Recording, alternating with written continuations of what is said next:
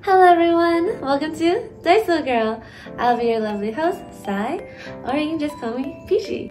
Valentine's Day is coming straight up, and I found a great variety of items to decorate my house with at my local Daiso. Let's open these little banners I found. Dun! There's flag type banners.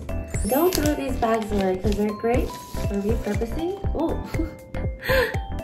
to bag these banners again. Live for love!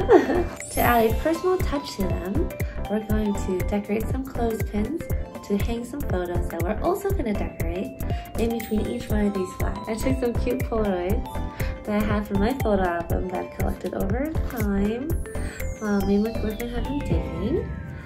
And these are the ones I'm going to decorate.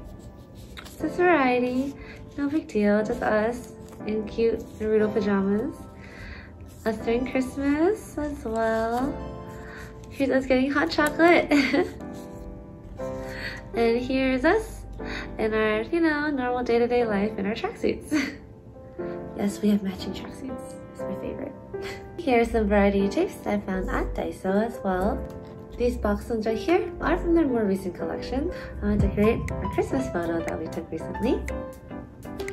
And to pair with this, I chose my gold one, since we have some gold ribbon and ornaments on the Christmas tree behind us, I'm gonna go ahead and decorate our Christmas board with some golden metallic tape that I found at Daiso. I do my best to center the stars right in the middle. And we see this little edge right here, we're just gonna snip that right off along the lines of the Polaroid.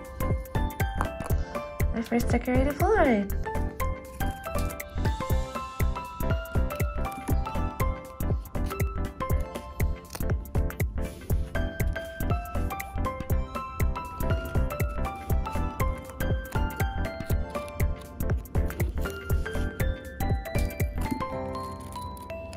Ta-da!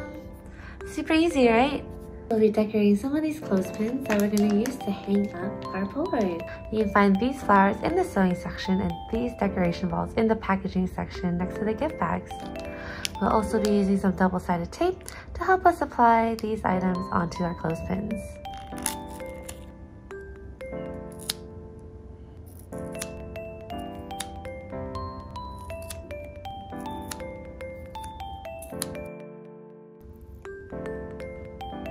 Open these flowers right here.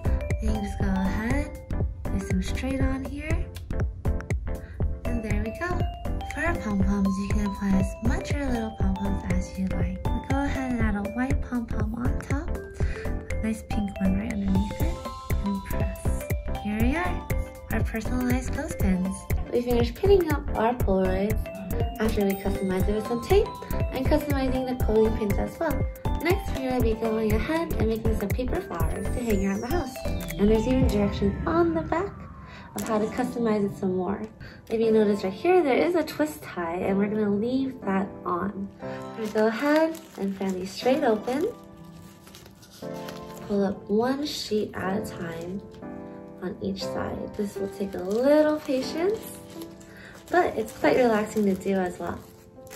Pull it up nice and easy on one side and then we're gonna switch between the two sides so it's even and separate.